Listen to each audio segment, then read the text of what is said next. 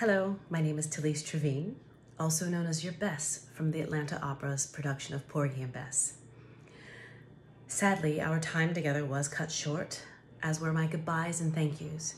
So I wanted to take a moment to send a video of thanks to the collective Atlanta community and especially to the Atlanta Opera.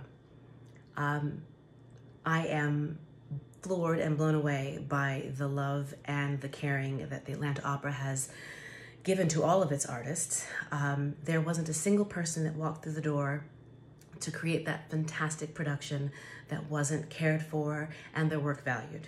Everyone left that theater with a check, which is no small feat in these very difficult times.